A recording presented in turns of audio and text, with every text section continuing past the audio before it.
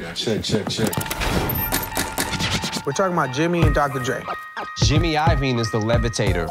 Dre is the innovator. I need something a little bit more impressive. I had to work harder than the next guy just to do as well as the next guy. And to do better than the next guy, I had to kill. I knew that I had to be a success at something. A friend of mine put together two turntables. I started doing this thing. I wanted to be able to get in there and rock. This was that do or die album. Put my body into this record. I'm playing it for everybody. For some reason, everybody's turning me down. Nobody wanted to deal with this gangster rap thing. They were afraid to deal with the people. The East Coast ain't got no love for Dr. Dre and Snoop Dogg. All I remember is that Dre came in to play us the Chronic. I said, who recorded this for you? He said, me. I said, wow, this guy will define Interscope.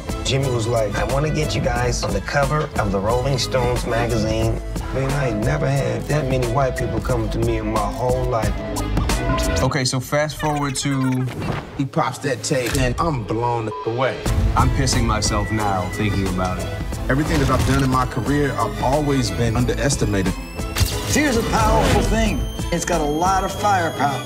It was the beginning, making fear a tailwind instead of a headwind.